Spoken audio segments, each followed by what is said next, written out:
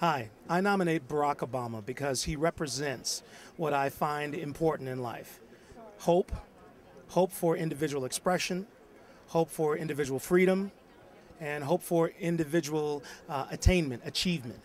So that's why I nominate Barack Obama.